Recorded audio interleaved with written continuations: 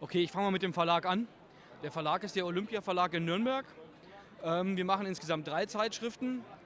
Das größte Pferd im Stall ist der Kicker, die Fußballzeitschrift.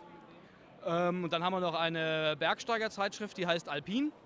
Und dann gibt es uns, Unterwasser. Äh, wir sind ein Fachmagazin über das Tauchen. Wir haben mehrere Ressorts.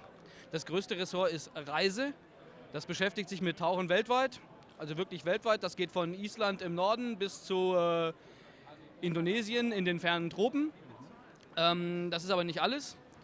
Äh, wir haben in jedem Heft auch eine, einen Wissenschaftsteil. Das ist meistens Biologie, kann aber auch Archäologie sein.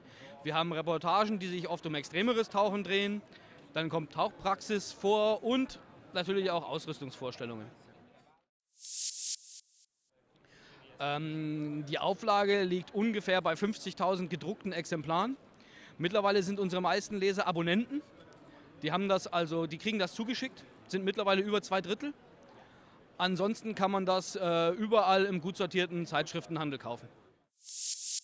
Wir haben einen Internetauftritt, der heißt www.unterwasser.de. Ähm, das ist keine 1 zu 1 Übertragung des Heftes. Man stößt auf Heftinhalte, aber man stößt auch auf ganz viele eigene Inhalte.